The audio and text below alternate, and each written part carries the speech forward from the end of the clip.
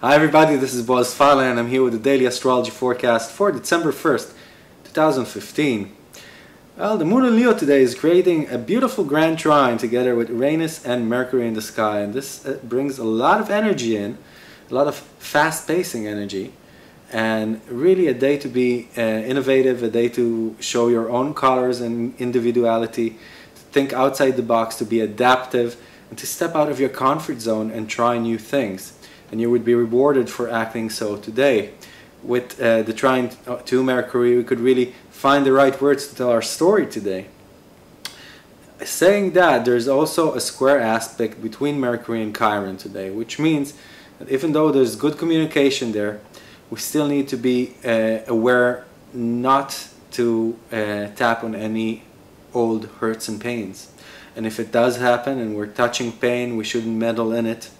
We should accept it, go on, and make up and uh, stay positive.